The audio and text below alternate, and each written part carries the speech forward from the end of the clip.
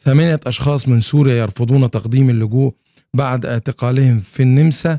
وعندي الخبر الثاني متعلق بشكل أو بآخر به النمسا ترفض 21 ألف لاجئ ومغادرة 1600 شخص طواعية في النصف الأول من عام 2024 ودول مجموعة مجموعة أشخاص اتمسكوا على الحدود مع سائق أوكراني.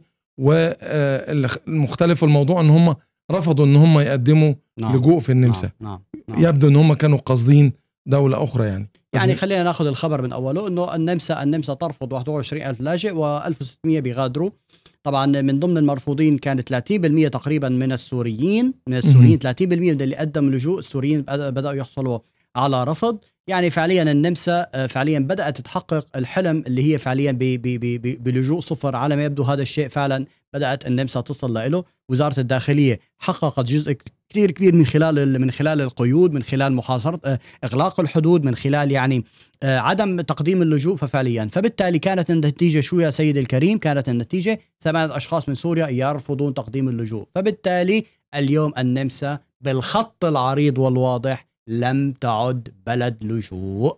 تغلق أبوابها. انتهى.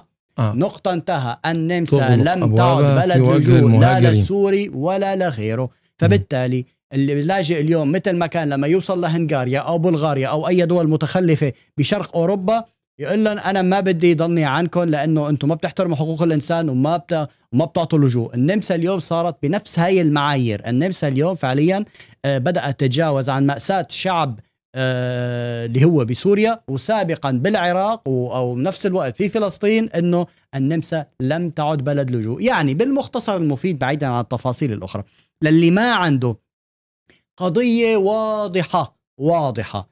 إن كان سوري تحديدا سوري. إذا ما كان عنده قضية واضحة ما في أمل بحصوله على اللجوء في النمسا فعليا بيكون عنده قضية واضحة. وإذا عنده ربع أو نصف قضية احتمالات الرفض واردة أو يحصل على حق مؤقت حق الثانوية واللي هي فيها كتير مشاكل وما فيها الميزات الموجودة مثل الإقامة الدائمة. فبالتالي اليوم كل لاجئ يخطط يجي على النمسا يضله شادد ويتجه شمال غرب. دولة أخرى. شمال و... غرب. نعم. آه. والموجودين هنا سرعة الاندماج في المجتمع قبل أن يطولهم قرارات أخرى تعسفية. 100%